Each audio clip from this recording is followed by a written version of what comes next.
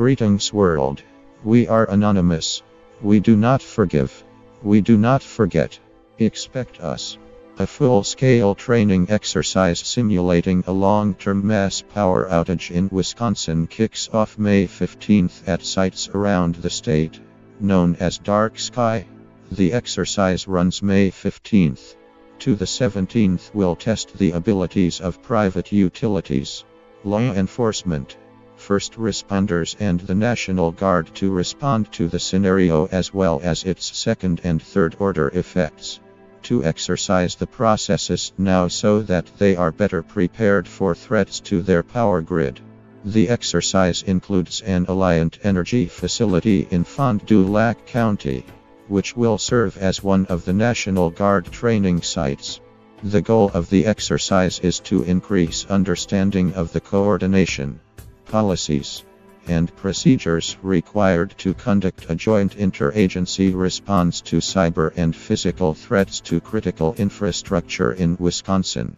The dark sky scenario includes a variety of incidents that require local, county, and state level response operations designed to exercise each participating unit and agency.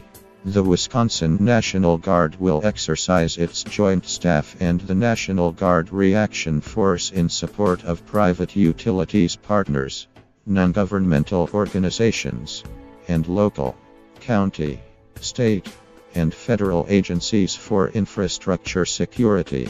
As part of the exercise, Wisconsin National Guard soldiers will conduct door to door health and welfare checks in Monroe, Wisconsin.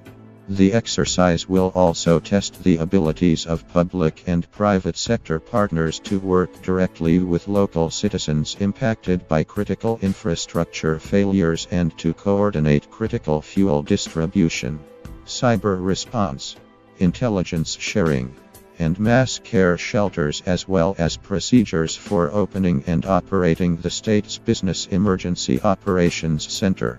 Canada's new National Public Emergency Alert System was put to the test in this week all across Canada as part of National Emergency Preparedness Week.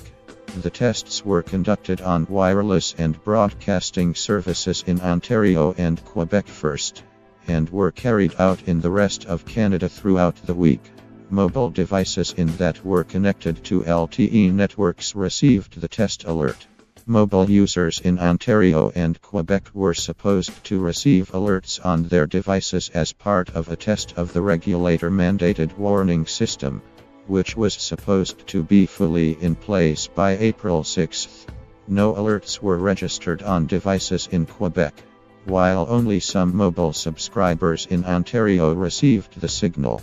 System operators blamed the Quebec malfunction on a computer coding error and were still investigating what went wrong in Ontario.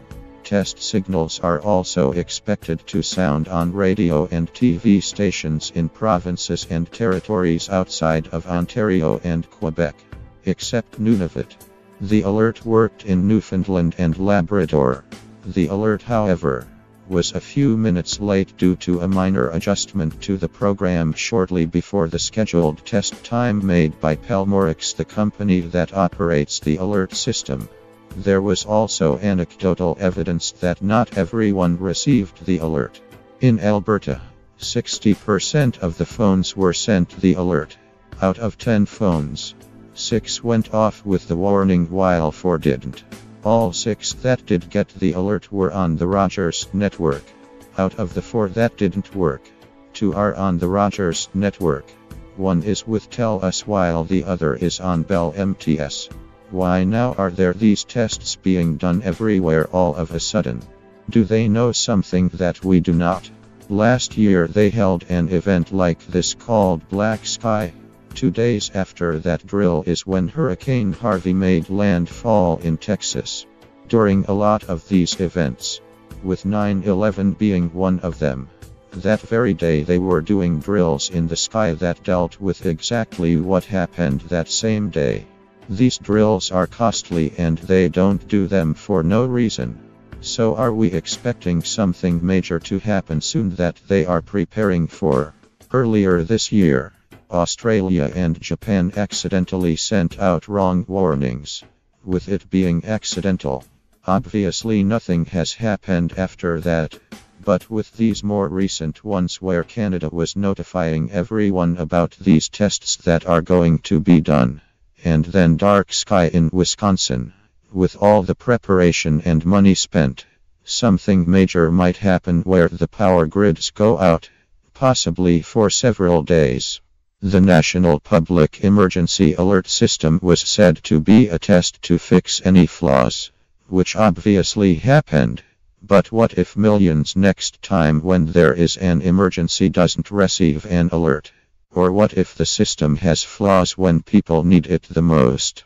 Obviously, people will find out from word of mouth, social media, news, radio, etc. But what if no one is around any of those and there were warnings sent and no one seen them? Or better yet, no one received them. There has to be a better secure way of making these alerts work for everyone. But also what might be happening in the coming days for these tests to be taking place. I guess we will find out. We are anonymous. We do not forgive. We do not forget. Expect us.